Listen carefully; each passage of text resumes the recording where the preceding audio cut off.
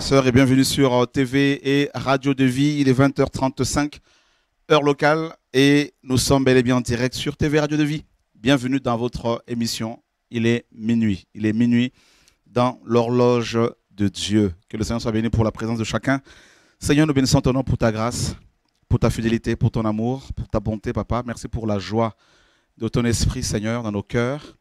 Merci pour l'œuvre, Seigneur, de ton esprit et toutes ces belles choses que tu nous permets d'expérimenter. Adonai, Elohenu, Adonai, Yeshua, Dieu d'Abraham, d'Isaac et d'Israël. Nous te prions ce soir en ton nom. Amen. Voilà, un petit chant, ou un grand chant plutôt, je dirais, à la gloire de Yeshua, notre Seigneur et Sauveur, parce que il fait beaucoup de choses, des grandes choses.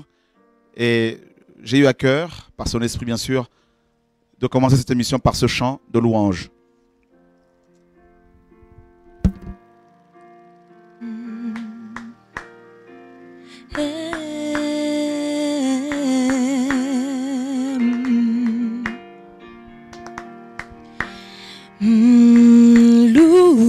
Dieu, louons-le pour ce qu'il fait dans nos vies. Louez Dieu, louons-le pour son œuvre en ce lieu. Louez Dieu, louons-le pour ce qu'il fait dans nos vies. Louez Dieu, louons-le pour son œuvre en ce lieu.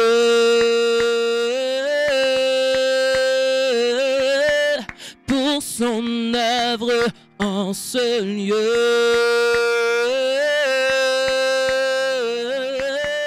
Pour son œuvre en ce lieu. Louez Dieu, louons-le pour ce qu'il fait dans nos vies. Dieu, louons-le pour son œuvre en ce lieu. Louez Dieu, louons-le pour ce qu'il fait dans nos vies. Louez Dieu, louons-le pour son œuvre en ce lieu.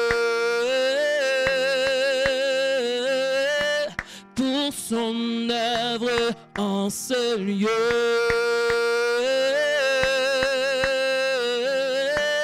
Pour son œuvre en ce lieu. Louez Dieu, louons-le pour ce qu'il fait dans nos vies. Louez Dieu, louons-le pour son œuvre en ce lieu.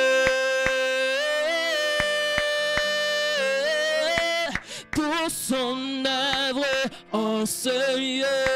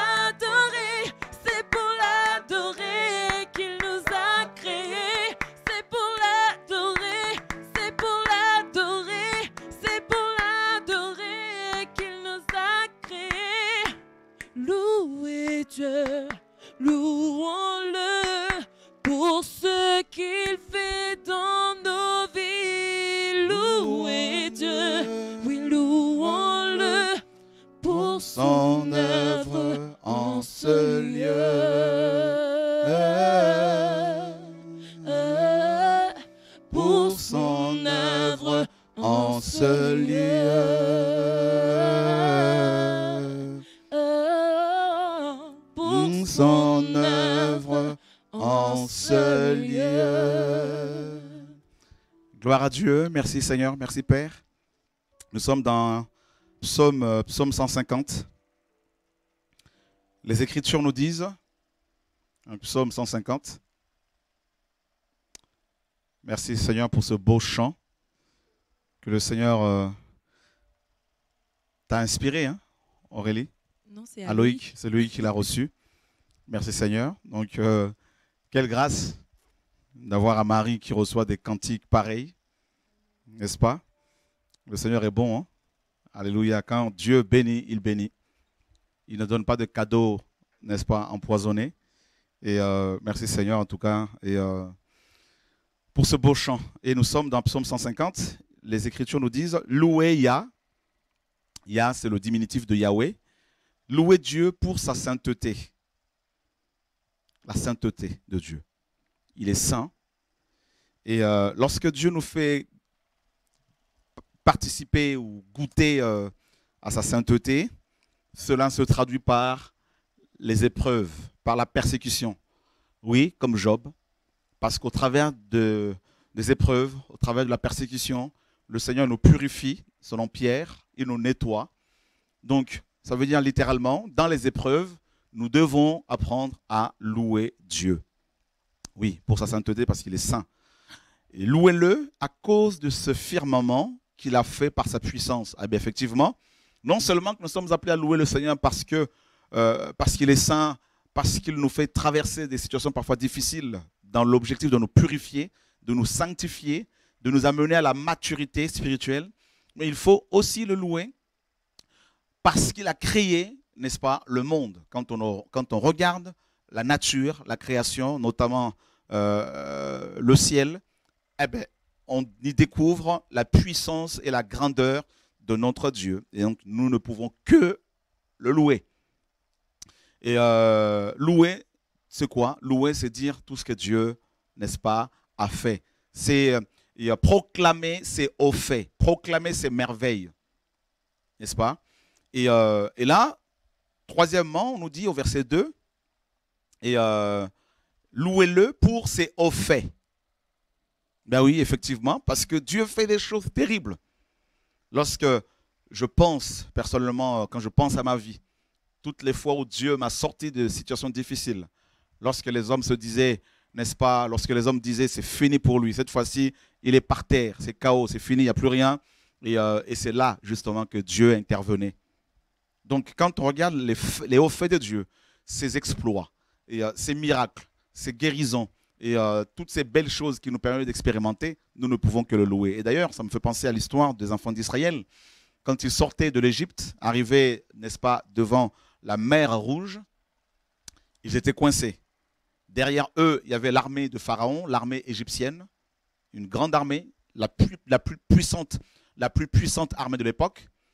Et face à eux, la mer, et derrière, c'était l'armée de Pharaon. Et ce peuple était pris en sandwich compressé et euh, oppressé, opprimé. Et là, il n'y avait pas de pont, il n'y avait pas d'avion, il n'y avait pas de tunnel, il n'y avait pas de bateau, il n'y avait pas de barque, il n'y a rien.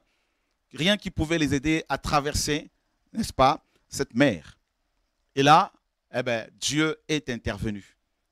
Et effectivement, arrivé de l'autre côté de la mer, on nous dit Myriam, sœur de Moïse, prophétesse, va prendre son tambourin et elle va entraîner toute l'assemblée israélite à la louange. Et ils ont tous ensemble loué Dieu pour ses hauts faits. Oui, nous louons Dieu, mes amis, à chaque fois qu'il nous sort des situations difficiles. Nous louons le Seigneur quand nous pensons, mes amis, euh, euh, euh, à sa grandeur et, quand nous commençons à réaliser, quand nous réalisons, mes amis, d'où il nous a sortis. Eh bien, ce qui sort de nos cœurs, c'est quoi? De nos bouches, c'est l'expression de notre reconnaissance. Ça s'appelle la louange. Eh bien, nous louons Dieu parce que parce qu'il fait, parce qu'il travaille. Quand je vois, mes amis, comment Dieu guérit des malades, comment il me guérit personnellement, comment il guérit des personnes, notamment cette femme, comme vous avez certainement suivi hier, avant-hier, cette femme qui avait le cancer, euh, qui avait un cancer de poumon, mes amis, euh, et, on a prié pour elle. Et ce jour-là, je me rappelle, on avait demandé à ce que Dieu lui donne le poumon d'une fille de, 16 ans, hein, euh, d'un enfant, enfant de 16 ans. Et effectivement, le Seigneur l'a restaurée. Elle est venue nous voir avec des preuves médicales de sa restauration, de sa guérison. Mes amis, comment voulez-vous ne pas louer Dieu quand on expérimente de telles choses? Oui, nous chrétiens, nous sommes appelés à louer Yahweh, à louer Yeshua, à louer l'Éternel, notre Dieu. Et euh, on le loue effectivement pour ses hauts faits. Il en fait, il en a plein, il en fait plein, mes amis. Il a des hauts faits, il fait des choses euh, tellement euh, innombrables, mes amis, que ben, on pourrait même pas, on pourrait même pas les mettre par écrit. aucun livre ne pourrait contenir tous les hauts faits de notre Père. Et même le monde, selon Jean, ne peut en aucun cas contenir toutes les merveilles que Dieu opère, mes amis. Voilà, louez-le selon la grandeur de sa magnificence. Oui, nous louons aussi le Seigneur parce que il se révèle à nous et nous constatons qu'il est tellement puissant que nous ne pouvons que être dans l'admiration, dans la contemplation, dans la contemplation, dans le merveillement, dans la, glorification de son être, de, sa, de son amour. Et, euh, et ben là, effectivement, là, on loue Dieu parce qu'il est, parce qu'il est grand. Parce qu'il est grand louons-le, hein, louez-le au son du chauffard. Et eh bien là, on peut effectivement utiliser des instruments. Louez-le, louez-le au son du chauffard. Le chauffard, comme vous le savez, c'est euh, la corne de bélier qui était utilisée à l'époque pour euh, euh, l'adoration, pour convoquer le peuple, pour proclamer les hauts faits de notre Dieu. Oui, nous pouvons nous servir des instruments pour louer notre Créateur, mes amis. Louez-le aussi avec euh, le luth et la harpe. Ça, c'est d'autres instruments, mes amis, des instruments euh, et, euh, à cordes, tout ça là. Et, et le chauffard l'instrument à vent et l'instrument à cordes. On peut le louer avec toutes sortes d'instruments. On peut les combiner, on peut les, les, conjuguer, les mettre ensemble afin de pouvoir louer Yahweh avec. Louez-le avec le tambour. Hein? Donc voilà, et avec des danses. Oui, mes amis, nous pouvons, en louant le Seigneur, aussi nous exprimer, c'est-à-dire aussi danser. Ce n'est pas un péché. Cela ne s'est pas arrêté, bien sûr, les danses, pas les danses euh, euh, selon euh, certains ou qui ouvrent des écoles de danse, soi-disant prophétiques, tout ça, où les gens se dandinent dans tous les sens. Ce n'est pas de ce danse-là, danse-là dont on parle ici, mais c'est vraiment des danses dans la présence du Seigneur, comme David a pu danser. Oui, ce n'est pas du tai chi, non, eh ben, si on est assis en permanence sur son canapé, on ne peut pas comprendre ces choses-là, mes amis. Donc on peut se lever, on peut louer Dieu, on peut danser, sauter dans la joie. Oui, frère, on peut, mes amis, exprimer, s'exprimer devant notre Père, exprimer sa joie, sa reconnaissance, aussi par des danses, pas des danses sensuelles, des danses charnelles, mais des danses, bien sûr, spirituelles qui honorent le Seigneur. Parce que la parole le dit, louez-le avec le tambour, louez-le avec des danses, louez-le euh, louez-le avec des instruments à cordes et le chalumeau. Voyez? Louez-le avec les cymbales retentissantes. Louez-le avec les cymbales de cris de joie. Que tous ceux qui respirent louent Yah, louez Yahweh. Waouh Alors, louer veut dire tout simplement Alléluia. N'est-ce pas? C'est ça, louer. Alléluia. Donc, tout le monde connaît cette expression. Alléluia ou Alléluia, Alléluia. Voilà, donc c'est Allel, c'est la louange. Allel, c'est louer. N'est-ce pas? Allel. D'où les psaumes, ce qu'on appelle les, grands Allel, les chants de louange que Yeshua a chanté, n'est-ce pas, dans le jardin de Gethsemane avec ses disciples. Parce qu'on nous dit qu'ils ont, ont chanté mais la, nuit où, la nuit où Yeshua a été arrêté. ils ont chanté ce psaume, justement, le psaume 136, 118. C'est des psaumes de louange. Et euh, mes amis, euh, et ça, c'est voilà, c'est beau de voir comment Yeshua a été, euh, mes amis, avec ses disciples pour louer Yeshua, homme, louer, glorifier, louer le Dieu Tout-Puissant. Voilà, donc Et, et là, on nous dit que tous ceux qui respirent louent Yah, louent Yahweh. Tous ceux qui respirent. Donc d'abord la nature. Les plantes respirent. Donc les plantes louent Dieu en permanence. Ben oui, mes amis. On nous a parlé à l'école, hein, la photosynthèse, tout ça, avec la lumière du soleil, tout ça, machin. Donc, on ne va pas rentrer dans la biologie, dans la science, tout ça, là. Mais en tout cas, la nature loue Dieu. Les fourmis que vous voyez par terre, là, elles louent Dieu. Mes amis. Même le serpent, là, que tout le monde euh, craint, pratiquement, là, il loue Dieu. Les poissons de la mer louent Dieu. Les dauphins, les requins, les crocodiles, tout ça, là, tout le monde loue Dieu. Mes amis, vous vous rendez compte quand même, là? Ah, C'est beau. Ça veut dire que il y a une chorale qui ne cesse de louer. Les crapauds, quand vous les voyez, mes amis, là, faire leur brûle, tout ça, quoi, quoi, quoi, tout ça, ça chante. Si vous allez dans les pays euh, euh, euh, tropicaux, tout ça, dans les tropiques, vous allez voir comment les crapauds louent. Hein, les pigeons qui recoulent, tout ça, là, ça loue Dieu. Et, et ça, c'est beau. Les chiens qui se mettent à aboyer la nuit, ouh, ouh, ça loue Dieu, mes amis. On veut le faire taire, mais ils disent, mais vous allez nous faire taire comment là? Nous sommes en train de louer le Créateur, mes amis. Ça, c'est magnifique, ça, c'est glorieux, c'est beau de voir à quel point, mes amis, euh, Dieu est loué en permanence par sa création. Et euh, quand le vent souffle, quand il y a de vent, quand il y a de tempête, mes amis, oui, Dieu est loué parce que ça respire. Voilà. Les cafards que vous voyez parfois chez vous, là, ça loue Dieu.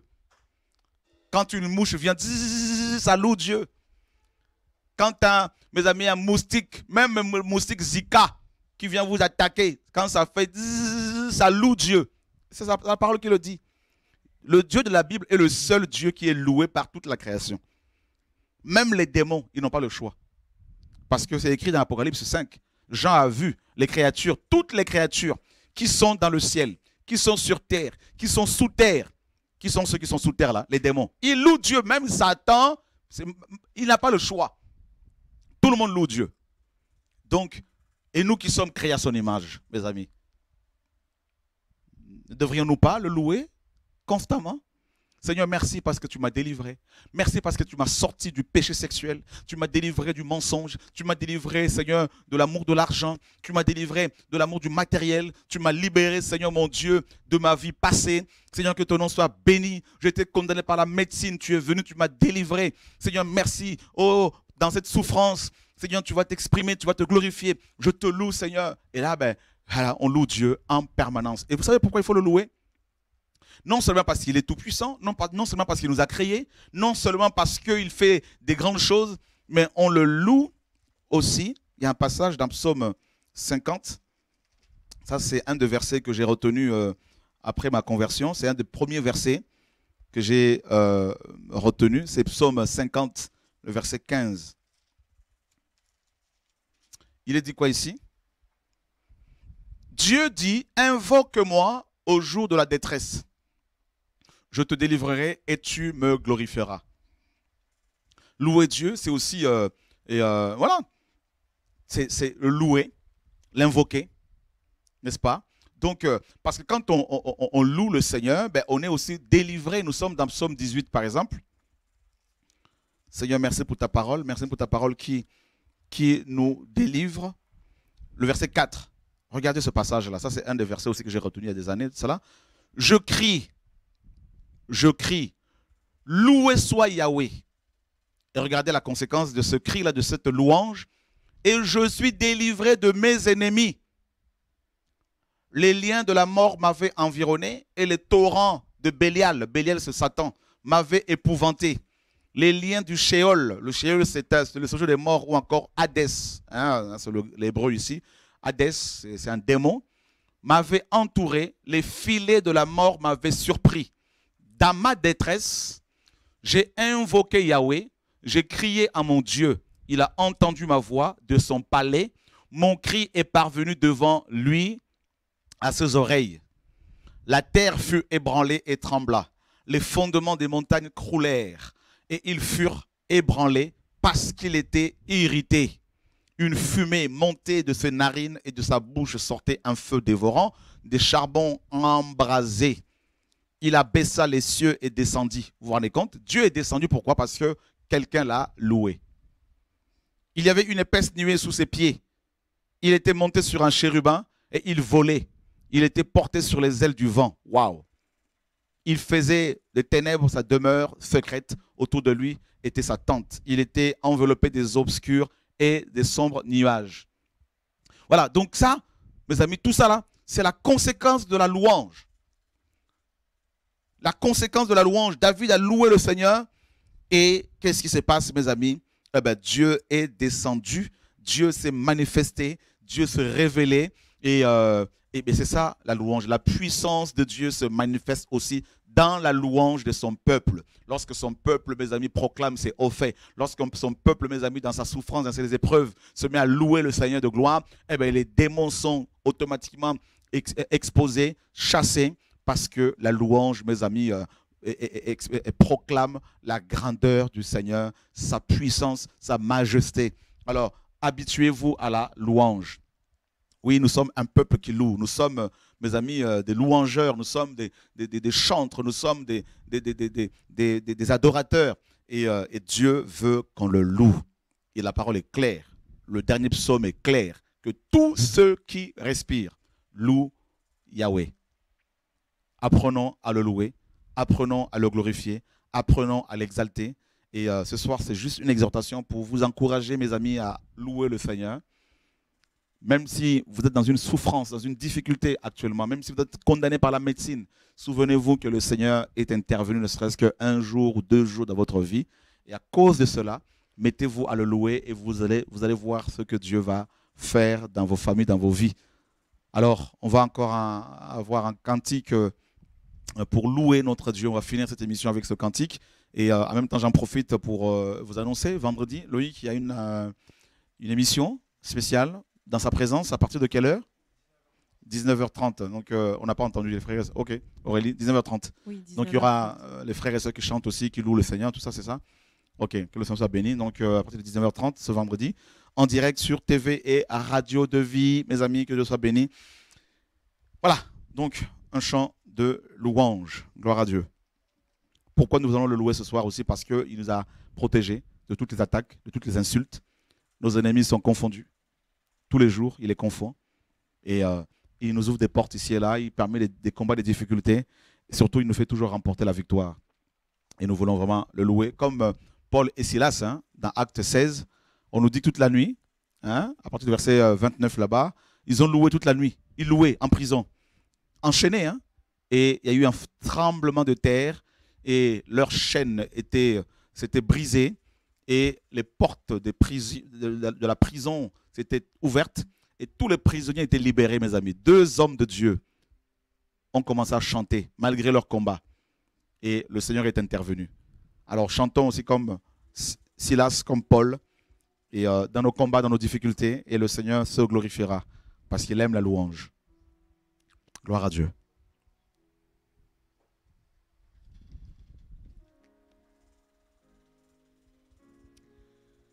Seigneur mon Dieu, je voudrais bénir ton nom, Père mon Dieu, pour euh, tout ce que tu fais, Seigneur, dans nos vies. Tu es fidèle, Seigneur, et tu ne nous as jamais abandonnés dans aucune situation, Père. Je veux me réjouir dans le Dieu de mon salut, en Jésus mon roi.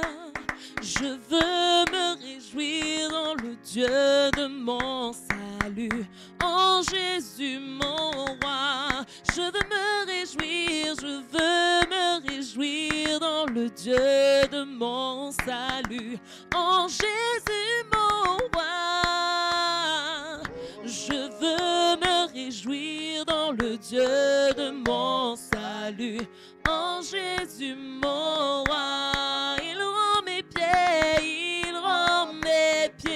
Semblable à ceux des bicheux. Il me fait marcher. Il me fait marcher sur les lieux élevés. Le Seigneur est ma force. Jésus rend mes pieds. Il rend mes pieds semblables à ceux des bicheux. Il me fait marcher. Il me fait marcher sur les lieux élevés. Le Seigneur est ma force. Alléluia. Alléluia. Alléluia. Alléluia, Jésus. Alléluia. Alléluia. Alléluia, Jésus. Alléluia. Alléluia. Alléluia, Jésus. Oh. Alléluia. Alléluia. Alléluia, Jésus. Dans le Dieu de mon salut, en Jésus Mon roi. Je veux Oh, me réjouir dans le Dieu de mon salut, en Jésus, mon roi. Je chante Alléluia. Alléluia, Alléluia, Alléluia, Jésus. Oh, Alléluia, Alléluia, Alléluia, Jésus. Oh Seigneur mon Dieu, sois glorifié Père. Sois Seigneur, sois loué. Seigneur mon Dieu mon roi, Pour toutes les guérisons, tu es bon Papa. pour toutes ces conversions, ces Tu baptêmes, bon, pour euh, toutes ces âmes que tu, tu touches, que tu touches dans les nations, Seigneur, pour ces nouveaux convertis, toutes ces missions, nous voulons vraiment te dire merci et te donner toute la gloire. Nous ne méritons rien. Nous n'avons aucun mérite. Et nous prenons toutes, euh, ces belles paroles que nous recevons tous les jours, tous ces merci, ces remerciements, nous te les offrons. Ô Yeshua, sois béni pour tout. Gloire à Dieu. Amen. Que le Seigneur vous garde, mes amis. Et euh, oui, demain, il y a un programme de formation du Didasco. Et euh, avec des frères qui euh, sont aussi enseignés par le Seigneur, qui vont pouvoir nous apporter des enseignements. Ça ne sera pas en direct, parce que vous savez, on a beaucoup travaillé la semaine dernière. L'équipe technique a beaucoup bossé. En tout cas, merci à chacun. Et voilà, mais vous aurez d'autres enseignements sur TV de vie, des enseignements du Didasco en direct euh, dans les, les prochaines semaines. Que le Seigneur se souvienne de chacun de vous. À bientôt. Au revoir.